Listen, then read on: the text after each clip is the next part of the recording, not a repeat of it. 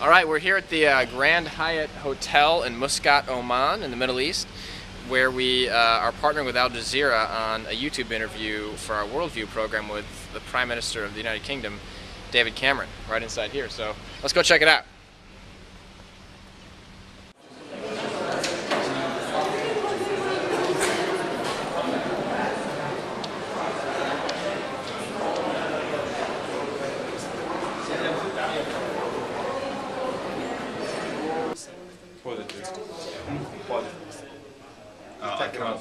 That's all right.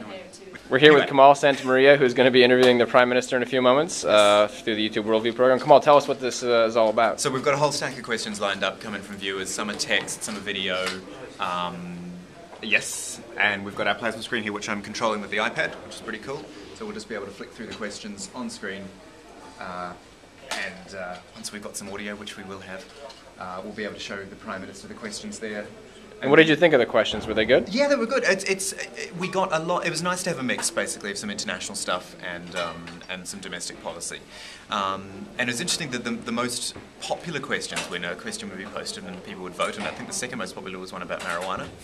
And the first most popular was if you're making uh, you know financial cuts in the UK, why are you still fighting wars? So we know from that now what the big what the big issues Uh-huh. are for people. Yeah, weed and war. Weed and Weed and war. No, no, it's not from that. See, this was the most popular You question. happy with? Basically, if you're making cuts, then why are you still spending money on wars? Was the, the, the gist of the question. That was the most popular voted question. You know the morning I've had. The Santa Maria's would have pulled it off. Yeah. Hello, hello. Good morning, Prime Good morning. Hi, nice to see you. Santamaria, it's my name. Nice to meet you. Hi Please there. take a seat. Good morning. Good morning. Morning. Nice to see you. Hi there. Right, so we're watching the television. We are, It's all and then complicated. now you're watching. No, I've heard you're an iPad man, so we're. Uh, I am, I so, am, I so I'm am. controlling the, the slideshow from here. Will I watch the television? Yeah, watch the screen and then and then the after we're done, we'll talk to to me. Yeah, exactly. For- That's for each question.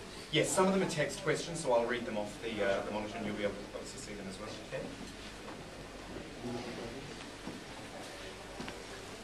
You okay, Andre? Yep. Everyone okay? Okay, we're recording. Excellent. Prime Minister, thank you so much for your time. The, the format of our interviews, we've got all the questions in from viewers around the world. They've sent in text questions, they've sent in video questions, and we've split it up into some foreign policies, some domestic policies. We hope to cover a, a nice broad range of things.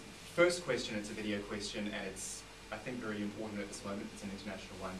It's about the situation of the uprisings that we've seen in the Middle East. So let's have a look.